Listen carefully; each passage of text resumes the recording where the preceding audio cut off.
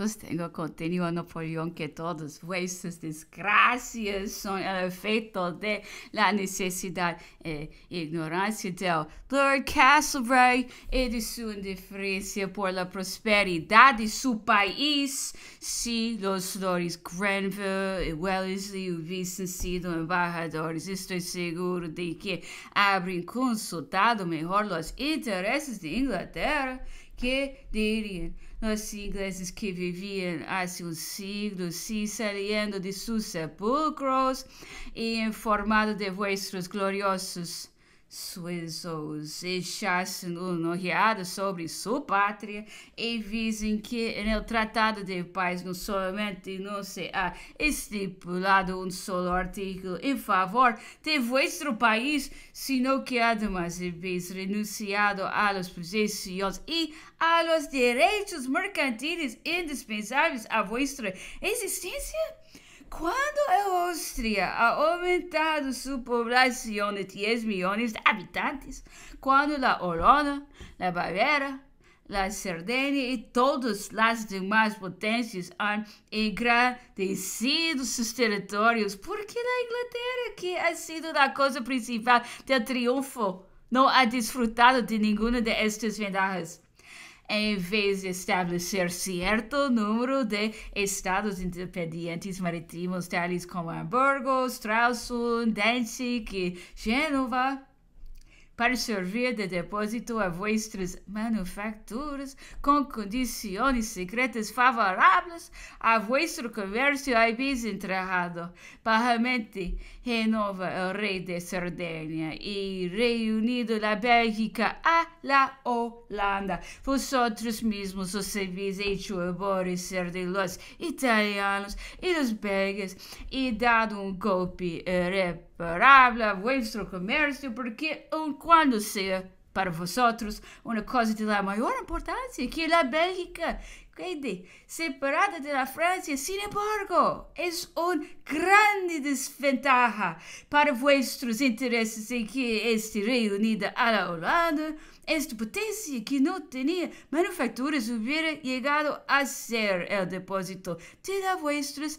De aquí resultaba una prodigiosa influencia en el continente, pero ahora que la Bélgica forma parte de la Holanda, este preferirá como es natural, emplear las manufacturas de sus propios súbditos a servirse de las de un pueblo extranjero y puede comprarse toda la Bélgica a una ciudad fabricante. Además, en caso de guerra con la Francia, la Holanda se le reunirá temerosa de perder las provincias meridionales. Sempre se entende o peligro mais iminente e a Holanda era o seguinte raciocínio e se nos declaramos contra a França perderemos a Bélgica e nossas manufaturas se hacemos a guerra a la Inglaterra que hará ella? Bloquear nossos puertos efectuar desembarcos pero tendremos tempo para preparar nossos médios de defesa, devemos, pois, declarar-nos em favor de la França. Muito melhor hubiera sido dar la Bélgica à Áustria ou a Sérvia, um país independente, ponendo a sua cabeça como soberano um príncipe inglês. Agora bem, consideremos a posição em que os encontrais estáis casi tan completamente excluídos del continente como cuando yo reinaba y proclamé el sistema continental. Os pergunto, suponiendo que hubiese sido vencedor, habría podido dictar una paz que en sus consecuencias fuese tan desventajosa para la Inglaterra como lo ha sido la excitada por el Lord Castlereagh después de haber conseguido tantos triunfos.